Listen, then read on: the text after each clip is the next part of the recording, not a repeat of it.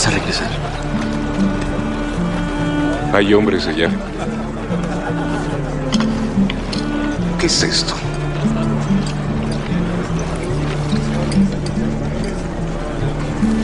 La gente suele preguntarme, oye Hood, ¿por qué lo haces? ¿Por qué? ¿Eres un adicto a la guerra?